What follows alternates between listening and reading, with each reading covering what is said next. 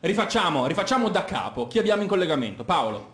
Abbiamo uno dei gestori del Keynes Blog e lo facciamo presentare al volo.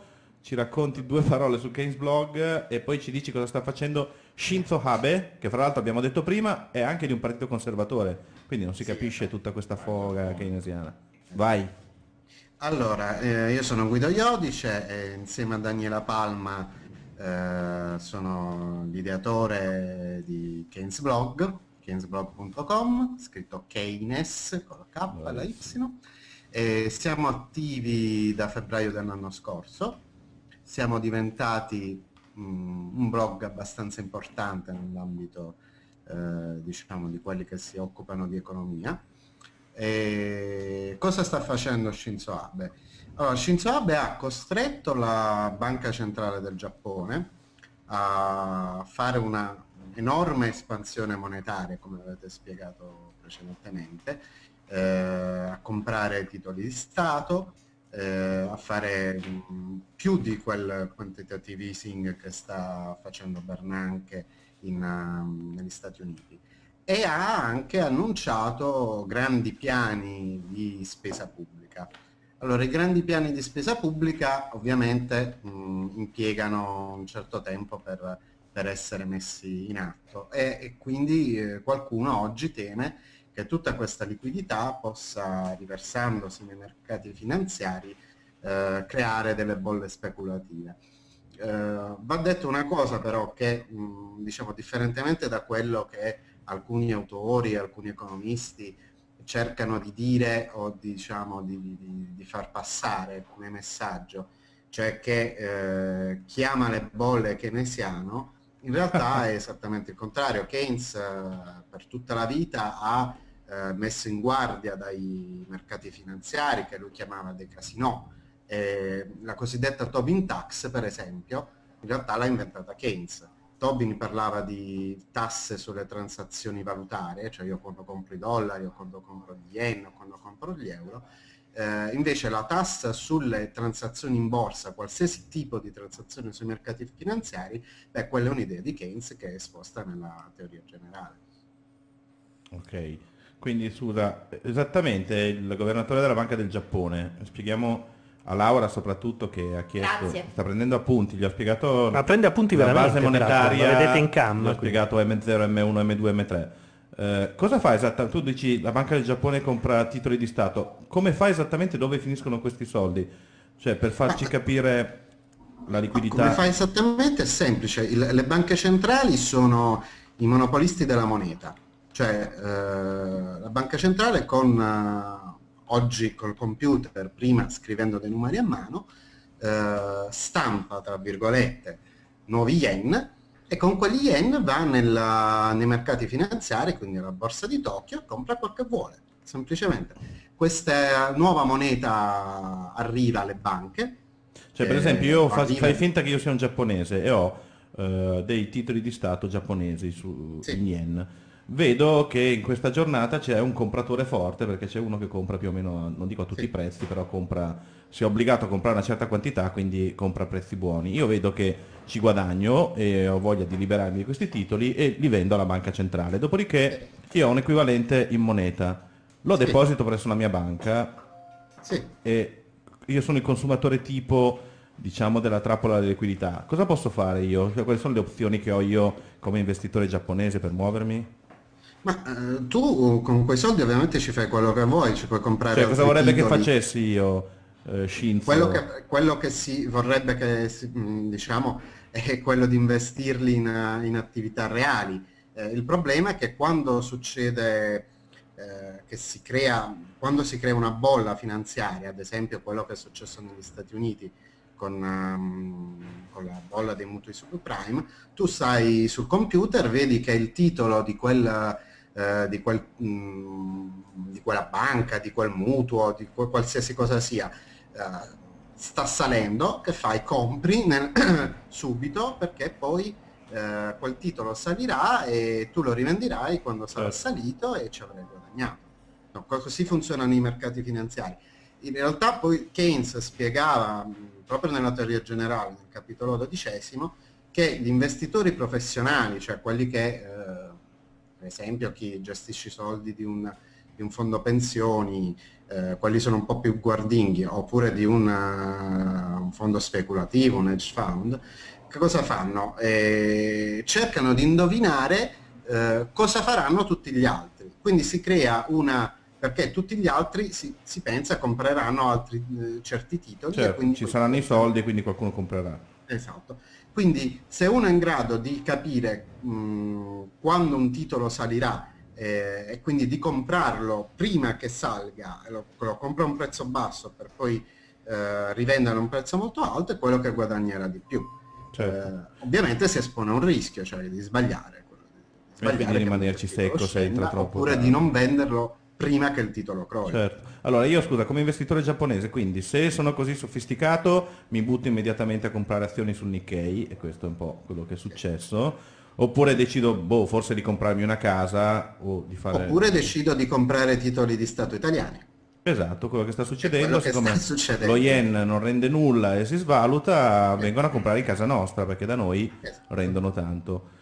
Il problema è che però il Giappone ha comunque da finanziare un suo debito pubblico, perché se i giapponesi smettono di finanziarlo hanno un problema. Ma questo in realtà momento. è un problema secondario, nel senso che il Giappone, cioè la banca centrale giapponese stampa nuova moneta e compra i titoli cioè, di si Stato. può fare all'infinito secondo te? Tenete conto che è vero che il Giappone ha 240% circa di debito pubblico, non si sa neanche precisamente se è 240, 220 o 250 ma diciamo 240% di debito pubblico.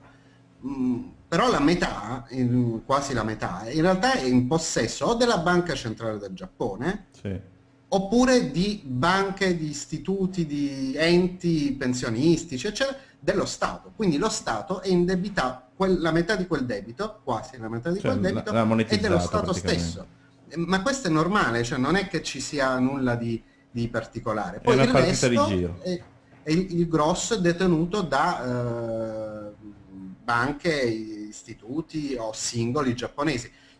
Tenete conto che in Giappone ci sono addirittura, leggevo poco tempo fa, donne che eh, mettono annunci dicendo che cercano possessori di titoli di Stato, certo. è una sicurezza. No, diciamo. Ah, certo. Quindi il Giappone non può fare default eh, come qualsiasi paese che eh, emette la propria moneta, non, a meno che, diciamo, eh, come è successo per esempio per, per, l'Islanda, la gente non incomincia ad usare monete estere. Mm. In Islanda è certo. successo che la, la moneta giapponese, eh, scusa, la moneta islandese, la corona islandese certo. era instabile, si svalutava, i, i, i, tassi per i prestiti erano alti, la gente eh, usava eh, diciamo nelle transazioni eh, certo. Ma quindi si butteranno sui bitcoin, diciamo, no? Visto che eh, è diciamo, un altro aspetto, dietro, una fiammata no, che ci può essere. Eh, Quindi io... la gente si indebitava in quella moneta. In più le banche islandesi eh, si sono aperte a diciamo delle, delle filiali virtuali nel tipo conto arancio, no? quella cosa lì, loro sì. si chiamava Ice Save, sì. nel, in, in, Olanda e in, in um, in Inghilterra, quindi la gente si, eh, le banche si indebitavano in, in, con, la, con, con, l'estero in, in, valuta estera e quindi poi il crollo chiaramente... Certo. ho una domanda, una domanda da colui che ne sa fino a un certo punto, anzi non ne sa, però cerca di seguirvi, ma la domanda che ti faccio è proprio molto puntuale. Com'è che il Giappone, eh, come tu più di una volta adesso hai suggerito, può permettersi e da, un, e da, un, lato garantisce di non avere rischio default proprio perché emette valuta e contestualmente non svalutare la propria valuta oppure svalutarla e non subire quelli che sono i problemi di una valuta svalutata? Diciamo, se tu sei... Se ho capito il... abbastanza, scusami, eh, permesso... Sì, no, no, no, certo, certo. Se tu sei il... diciamo, il... Ecco, mettiamo che io sia eh, la Microsoft, no? Mm-hmm. E mi indebito in, uh, in copie di Windows, no? Cioè non potrò mai fare default, perché le, faccio io le copie di Windows, non mi costa niente eh, farle e quindi non potrò mai, fare, non potrò mai fallire sulla mia, su ciò che produco a costo sostanzialmente zero. Ehm, il Giappone ha anche il problema che evidenziavate voi, che ha una inflazione bassissima, o, o, meglio, ha avuto fino ad oggi una deflazione, cioè i prezzi scendevano, e quindi i pericoli, onestamente, i pericoli inflazionistici che ci potevano essere, per esempio in Islanda, che è un paese che importa tutto, poi tra l'altro, non ci sono eh, attualmente almeno. Certo, poi, come dire, prevedere il futuro è sempre complicato, ma attualmente loro hanno problema opposto, cioè eh, quello di cercare di creare un po' quel che è possibile di inflazione, perché tieni conto che la deflazione può apparire una cosa bella per per chi compra la pasta in Italia o so, il sushi in Giappone, eh, ma chi ha un debito, chi ha un mutuo, in realtà sta pagando di più perché eh, se tu hai fatto un mutuo a 100.000 euro e eh, quei, eh, quei 100.000 euro eh, cominciano a valere di più, eh, il tuo debito si sta ingrandendo, non si sta riducendo. Ah, questo, è, questo, è chiarissimo. E quindi certo. tu cercherai di risparmiare e se cerchi di risparmiare l'economia andrà peggio, i prezzi scenderanno ancora di più. E quindi è un serpente che Però si Possiamo dire che il Giappone è un caso unico al mondo anche nella storia, c'è un paese un fortissimo esportatore, è un, un sistema compatto unico con una popolazione tutto sommato disciplinata e frugale. Se vuoi è una Germania ancora più pronunciata. E quindi è vero che il Giappone può fare tutti questi numeri, la Banca del Giappone e non si arriverà mai a un fallimento formale, però tutto sommato cioè, diciamo che anche a livello, chiamiamolo signoraggio, tutti quegli aspetti lì, cioè non è che il consumatore giapponese ne avrà necessariamente un vantaggio da queste politiche un po', se vogliamo, atomiche che stanno facendo, no? Cioè ci sono degli, degli effetti perversi che in qualche modo arriveranno a galla.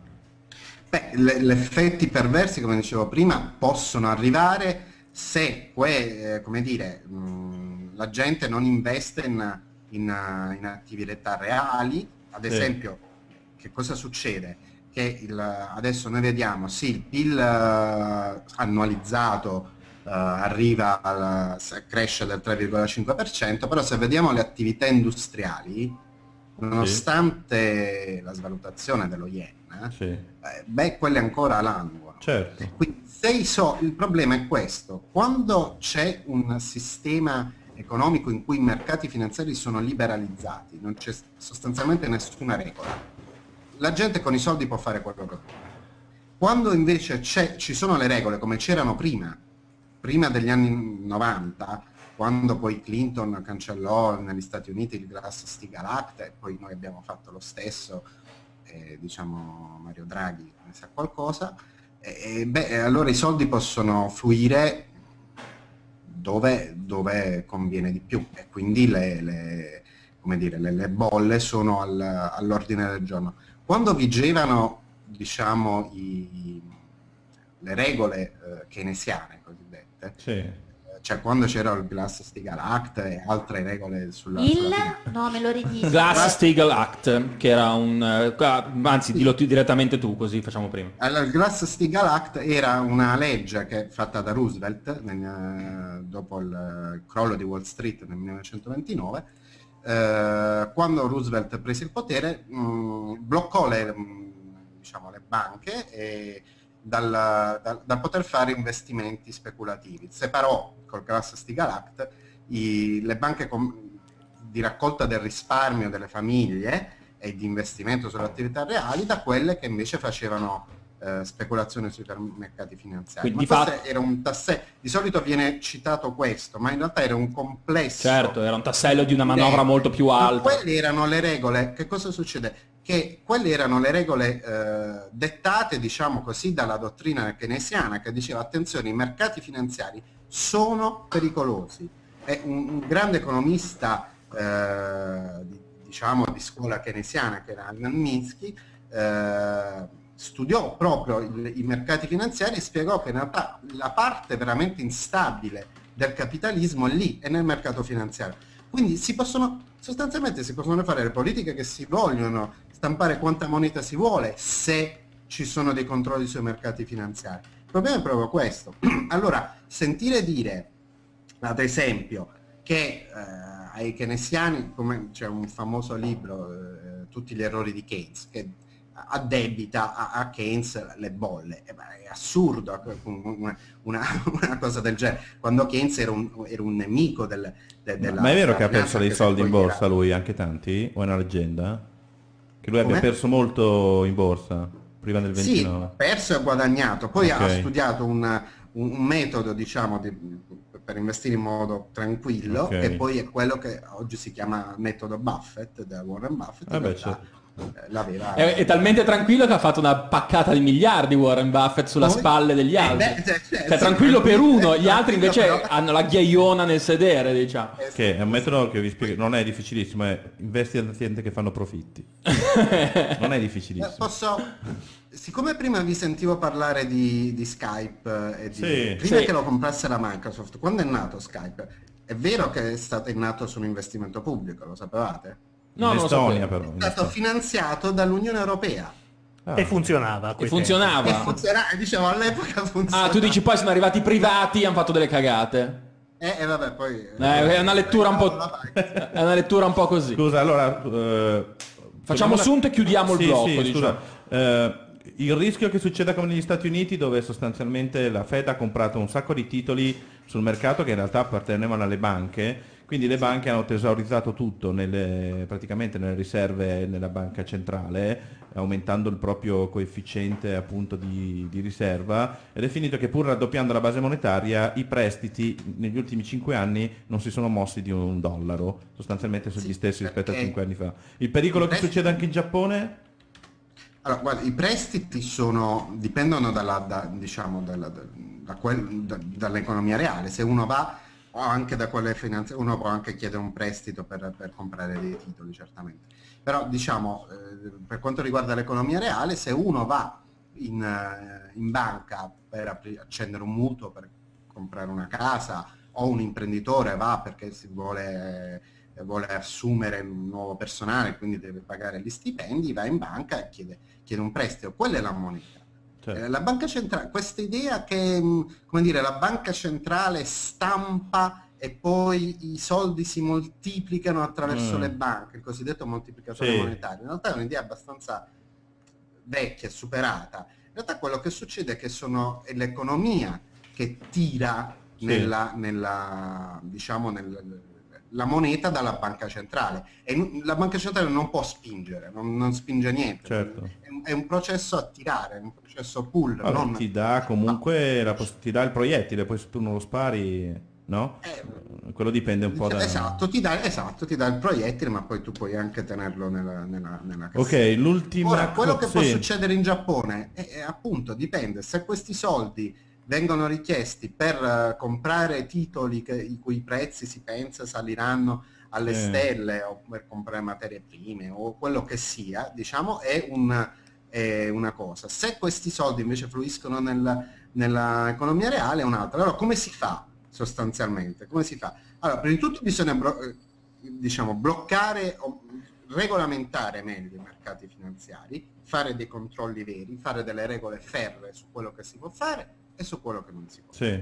Per quanto riguarda l'economia reale, e lì c'è poco da fare. Quando la gente ha sfiducia, quando la gente non compra, lo deve fare oh, lo Stato. Ecco qua, Quindi, qui è il nucleo. Lo dico ai miei amici, questo è il nucleo di Keynes.